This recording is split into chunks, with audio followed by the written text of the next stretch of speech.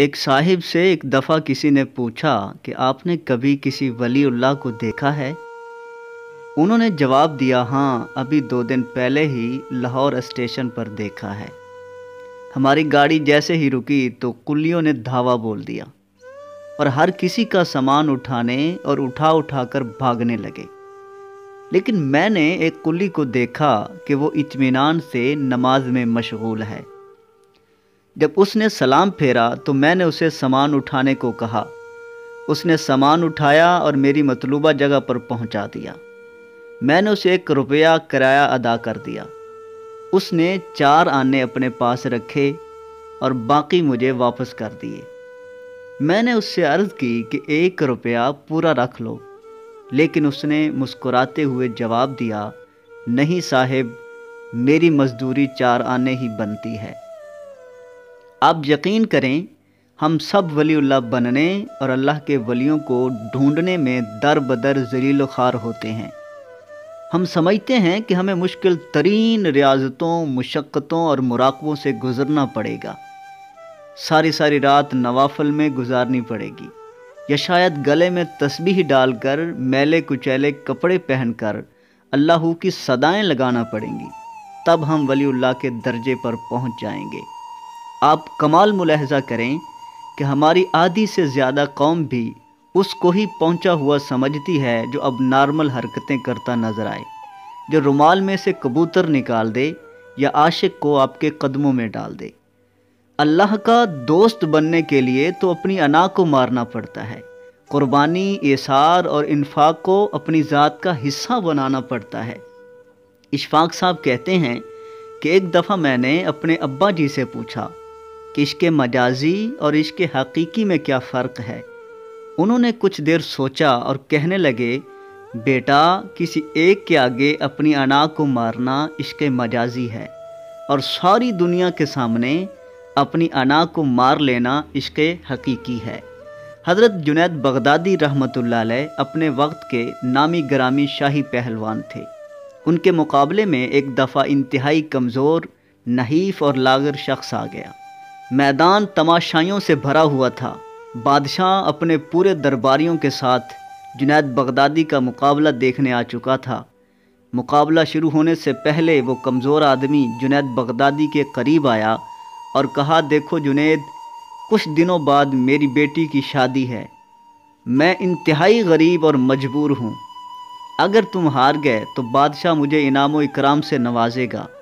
लेकिन अगर मैं हार गया तो अपनी बेटी की शादी का बंदोबस्त करना मेरे लिए मुश्किल हो जाएगा। मुकाबला शुरू हुआ और जुनैद बगदादी हार गए। बादशाह को अपनी आँखों पर यकीन न आया। उसने दोबारा और तीसरी बार मुकाबला करवाया और तीनों दफ़ा हार जुनैद बगदादी के हिस्से में आई। बादशाह ने सख्त गुस्से में हुक्म दिया कि जुनैद को मैदान से बाहर जाने वाले दरवाजे पर बिठा दिया जाए और तमाम तमाशाइयों को हुक्म दिया गया कि जो जाएगा, जुनैद पर थूकता हुआ जाएगा। जुनैद बगदादी की अना खाक में मिल गई। लेकिन उनकी विलायत का फ़ैसला क़यामत तक के लिए आसमानों पर सुना दिया गया। वली तो वो होता है जो लोगों की ज़िंदगियों में आसानियाँ पैदा कर दे, जो किसी को जीने की उमंग दे दे, चेहरे पर खुशियाँ बखेर दे। जब कभी बहस का मौका आए तो अपनी दलील और हुज्जत रोक कर सामने वाले के दिल को टूटने से बचा ले उससे बड़ा अब्दाल भला कौन होगा? रसूल खुदा सल्लल्लाहु अलैहि वसल्लम ने हज़रत मुआज बिन जबल रदी अल्लाह तु से फरमाया, मुआज, तुम्हें वो अमल ना बताऊँ जो बग़ैर हिसाब किताब के तुम्हें जन्नत में दाखिल करा दे। मुआज ने अर्ज़ की, या रसूल अल्लाह सल्लल्लाहु अलैहि वसल्लम, ज़रूर इरशाद फरमाइए। आप सल्लल्लाहु अलैहि वसल्लम ने फरमाया, मुआज, मुशक्क़त का काम है, करोगे? ज़रूर करूँगा, या रसूल अल्लाह फिर फरमाया, मुआज, मुसलसल करने का काम है, करोगे? मुआज ने जवाब दिया, क्यों नहीं करूँगा या रसूल अल्लाह आप सल्लल्लाहु अलैहि वसल्लम ने फरमाया ए मुआज, अपने दिल को हर एक के लिए शीशे की तरह साफ़ और शफाफ रखना, बग़ैर हिसाब किताब के जन्नत में दाखिल हो जाओगे। मारूफ़ करखी रहमत ने फरमाया, जिसका ज़ाहिर उसके बातन से अच्छा है, वो मक्कार है, और जिसका बातिन उसके ज़ाहिर से अच्छा है, वो वली है। विलायत शख्सियत नहीं किरदार में नज़र आती है। इब्राहिम बिन अदहम रहमत की खिदमत में एक शख्स हाजिर हुआ और चंद दिन रहने की इजाज़त मांगी। आपने इजाज़त दे दी, वो कुछ दिन साथ रहा और इंतहाई मायूस अंदाज में वापस जाने लगा। इब्राहिम बिन अधम ने पूछा, क्या हुआ? बरखुदार क्यों आए थे और वापस क्यों जा रहे हो? उसने कहा, हज़रत, आपका बड़ा चर्चा सुना था। इसलिए आया था कि देखूँ कि आपके पास कौन सी कशफ व करामात हैं। इतना बोलकर वो नौजवान खामोश हो गया। इब्राहिम बिन अदहम ने पूछा, फिर क्या देखा? कहने लगा, मैं तो सख्त मायूस हो गया हूँ। मैंने तो कोई कशफ करामत वकू पजीर होते नहीं देखी। इब्राहिम बिन अदहम ने पूछा, नौजवान, ये बताओ कि इस दौरान तुमने मेरा कोई अमल खिलाफ शरीयत देखा? या कोई काम अल्लाह और उसके रसूल के ख़िलाफ़ देखा हो? उसने फ़ौर जवाब दिया, नहीं, ऐसा तो वाकई कुछ नहीं देखा। इब्राहिम बिन अदहम मुस्कुराए, उसके कंधे पर हाथ रखा और बोले, बेटे, मेरे पास इससे बड़ा कशफ और इससे बड़ी करामत कोई और नहीं है। जो शख्स फ़राइज़ की पाबंदी करता हो कबायर से इजतनाब करता हो, लोगों की ज़िंदगियों में आसानियाँ पैदा करता हो, आप मान लें कि उससे बड़ा वली कोई हो ही नहीं सकता।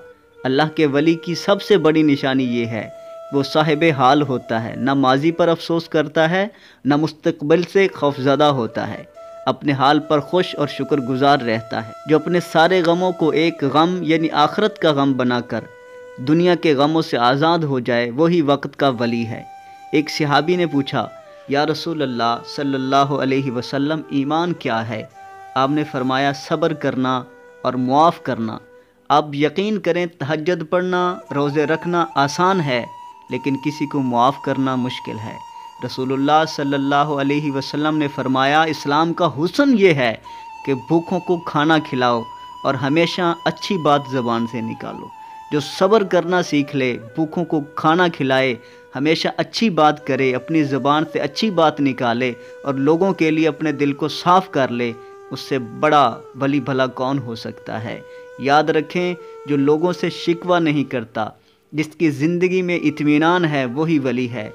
जिसके दिल की दुनिया में आज जन्नत है, वही वहाँ जन्नती है। और जिसका दिल हर वक्त शिकवे, शिकायतों, हसद, कीना, बुग्ज, लालच और नाशुक्री की आग से सुलगता रहता है, वहाँ भी उसका वही ठिकाना है।